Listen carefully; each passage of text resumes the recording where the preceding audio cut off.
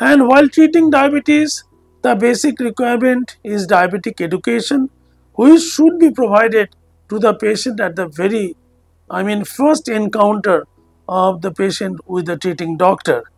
Say for example if you compare other diseases like infective illness so on and so forth where education is not that important but diabetic disease process it needs to be explained to the patient in detail along with the modus operandi of different anti-hyperglycemic I mean molecules with the pros and cons. I mean along with the economics the economics should also be explained to the patient.